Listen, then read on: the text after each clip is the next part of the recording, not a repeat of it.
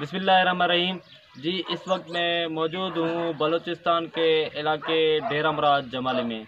अल्हम्दुलिल्लाह मुस्तफ़ी रज़ाकार पाक सलोना culture association की जानब से, उनके तावन से मुस्तफ़ी रज़ाकारों ने गम गुसारों ने इन सैलाब ज़दा इलाकों में आके बहाली का काम शुरू किया। अल्हम्दुलिल्लाह, ये वो इलाका है जो सैलाब की वजह से मुकम्मल तौर पर डैमेज हो चुका था।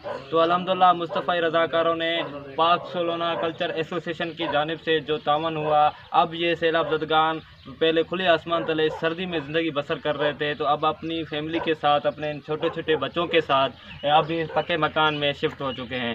मैं तय दिल से मशहूर हूँ मुस्तफ़ी रज़ाकार, पाक सलोना कल्चर एसोसिएशन का, जिन्होंने हमसे तावन किया, हमने ये प्रोजेक्ट और इन सैलाब जदान की बहाली के लिए काम किया, और ये कमरा मुकम्मल हो गया। अब ये छोटे छोटे बच्चे इन कमरों में शिफ्ट हो जाएँगे।